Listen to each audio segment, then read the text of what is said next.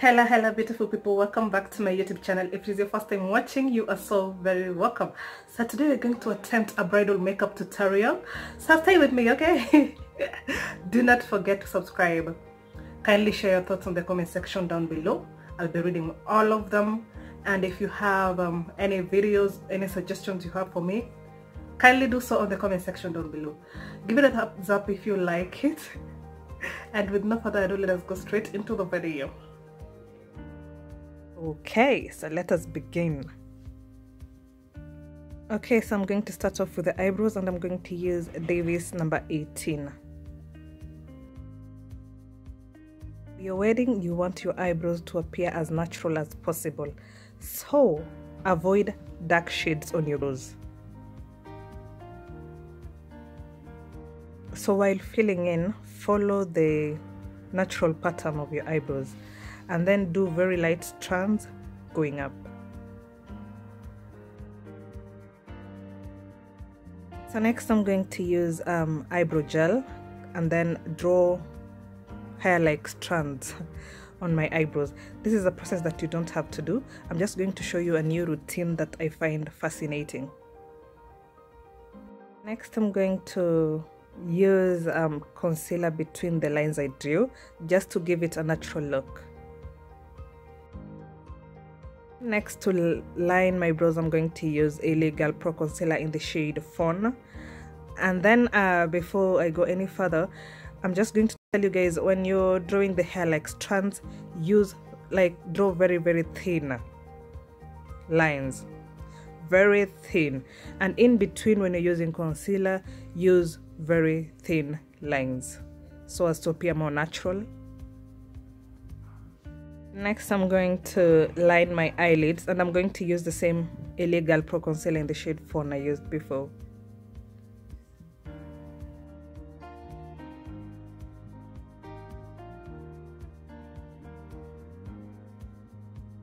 Okay guys, so for my wedding I would want my eye look to be very soft. So I'm going for this color as my first transitioning shade.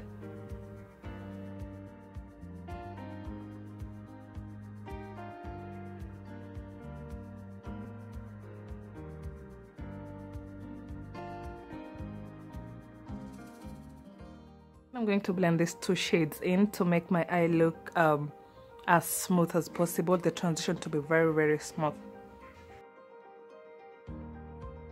I'm going to start off with a brighter color around my inner corner because I want my whole look to be soft, but my inner corner should be popping, if you know what I mean.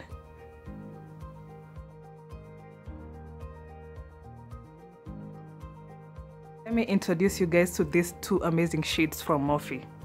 Okay guys, just look at how beautiful this shade looks. I love it. Me personally, I love the shade. It applies very smoothly to the eyes. It looks natural, peachy in color, but very, very beautiful. So don't forget to blend in around the edges to just to make the whole look, you know, the whole transition to be smooth. Um, blend around the edges, just blend the whole eye look together.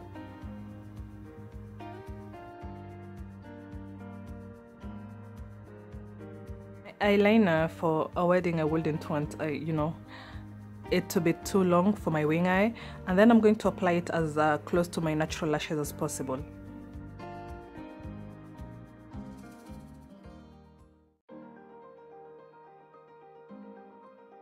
Then my lashes today are from Golden Lip. They are not too dramatic, but they're very visible when you put them on. Moisturizer, I'm going to use TruSkin Daily Facial Moisturizer. My wedding I would want my skin to look as radiant as possible. So I'm going to moisturize to the gods because I want my skin to look fresh and dewy. So yeah.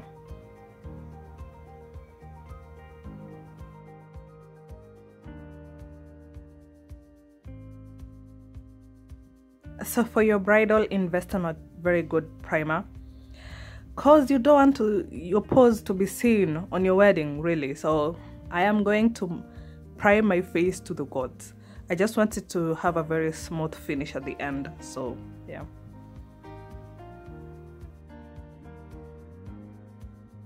So next I'm going to, uh, to go straight onto my foundation and I normally love um, Maybelline Superstay foundation because it goes very well with my skin tone. It matches perfectly. So that is what I'm going to use today as well.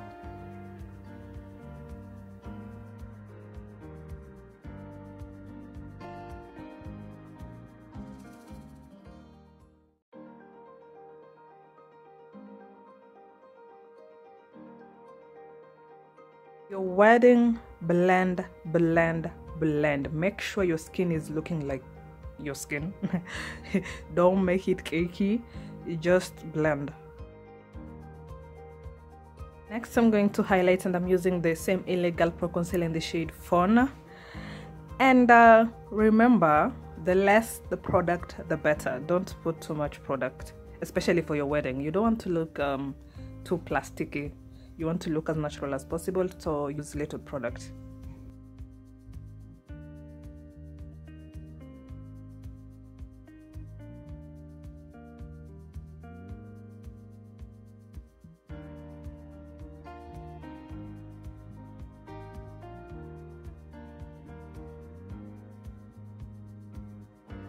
The set I'm going to use a Sacha Buttercup setting powder and then I'm going to just set I'm not going to bake because I don't want to appear so powdery. I just want my skin to look mattified but not too powdery if that makes sense.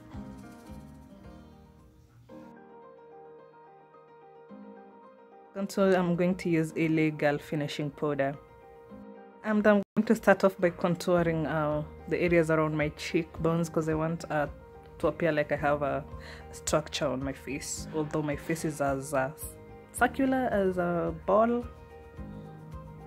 Be very careful while contouring your nose, don't use a very dark shade, and after blend it in going down, make sure it is all blended in. Next, I'm going to um, use a black eye gel to line my waterline. Then I'm going to smoke that out using the fast transitioning shade I used on my eyeshadow. And then next I'm going to warm up my contour using, um, this is supposed to be a blush but I'm going to use it as a bronzer. And next I'm going to set using NYX matte finish spray and I'm going to use a very generous amount. To highlight today I'm going to use a Fenty Beauty highlighter in uh, Hustla Baby because I want to glow to the gods today.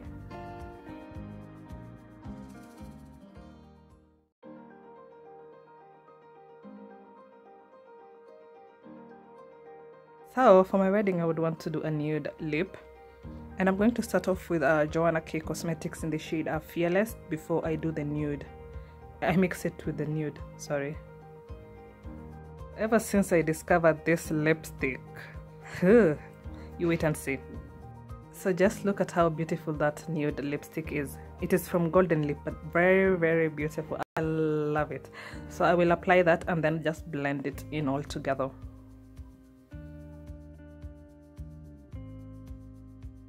can leave the lipstick matte but as, as I said earlier for me on my wedding I want to glow so I'm going to use a Fenty Beauty lip gloss on top so for my wedding, I want to appear young, vibrant, and glowing to the gods, and hopefully that is the look I achieved. And that would be it from me today, guys. Thank you so much for watching. I hope you learned something. I hope you love this look.